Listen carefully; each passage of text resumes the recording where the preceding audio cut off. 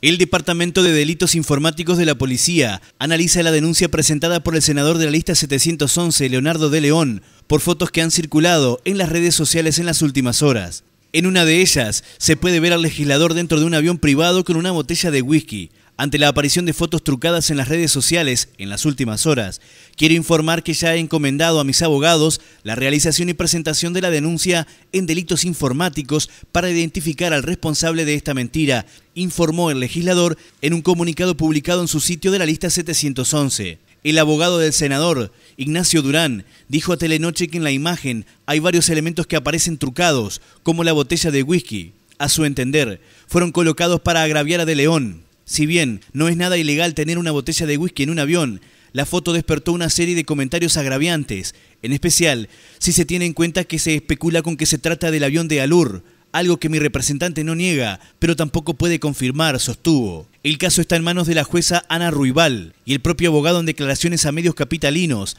apunta al exdiputado colorado Leonardo Vinci como quien habría publicado dicha foto en primera instancia.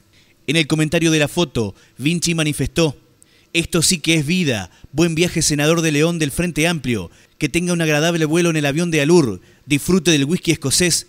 Todo cortesía paga por el pueblo uruguayo. Escribió en su cuenta de Facebook. Cuatro horas después de haber publicado, la misma ya había sido compartida por más de 1.200 personas. Horas después, mediante un comunicado, Leonardo de León aseguró que denunciará el hecho ante la justicia, buscando identificar a los responsables de la elaboración de la fotografía. Los abogados realizaron y presentaron la denuncia en delitos informáticos para identificar al responsable de esta mentira.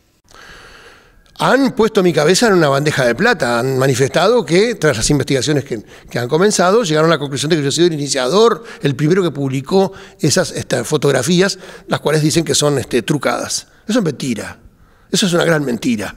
Me han expuesto ante el país entero de una forma infame. Yo no fui el primero a publicar esa foto, lo compartí al igual que miles de personas. Luego creo que alguien se dio cuenta y en algún medio escrito dijo, bueno, no quiere decir que esta persona haya sido el autor del trucaje de estas fotografías, este, eh, manifiesta el abogado del señor de León. Pero dan a conocer mi identidad, es un ex diputado colorado, radicado en Salto, que tiene un muro en Facebook que ha publicado estas cosas. Es decir, no hay forma, lo único que le faltó poner fue mi nombre, aunque en varios medios de prensa así se hizo. Así que lo primero que quede claro, esta gente ha mentido. Le han mentido a usted, señor. Le han mentido rotundamente.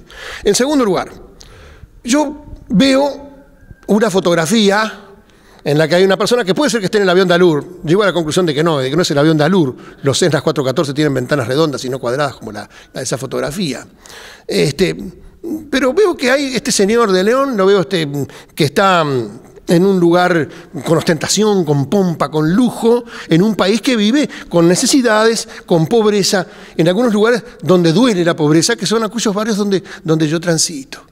Entonces veo que hay dos mundos distintos, el mundo de esta gente y el mundo real. ¿Por qué se ofende esta persona? Porque hay una botella de whisky en esa foto. ¿Yo qué puedo saber si, si eso es real o no? ¿Será de whisky o será de colé? Eso no es lo que, lo que está ante el juicio. Este señor compró un avión en 400 mil dólares. Gastó 100 mil dólares en el mantenimiento en 36 meses. Este señor hizo que ese avión fuese a San Juan, a Mendoza, a Posadas, a Buenos Aires, Asunción, 42 eh, veces a, este, a Buenos Aires, incluso hasta de noche, nadie sabe por qué. No fue a declarar ante la justicia, sino que lo hizo por escrito, escondiéndose en sus fueros. Esta persona que estuvo en Alur le pagaban en negro a los trabajadores, eludiendo el pago del Banco de Previsión Social. Esta gente, en vez de pagarle 100 mil pesos a una persona, equivocadamente le pagan 100 mil dólares. Y me viene a denunciar a mí porque he hecho un comentario crítico. Lo tercero y lo último. Yo como ciudadano tengo el derecho a criticar. Yo considero que nosotros, los ciudadanos, tenemos derecho a criticar y los hombres políticos tienen que aguantar la crítica, porque el día que no haya crítica a los gobernantes, ese día habrá muerto la República y esta gente quiere atemorizar, esta gente quiere amedrentar. Y conmigo, a mí no me van a llevar los ponchazos. ¿Va a tomar alguna medida? Por supuesto que la pienso tomar, ni que decir tal vez. Me corresponde además, ¿no? ¿Cuál? Y, y por la vía judicial, naturalmente.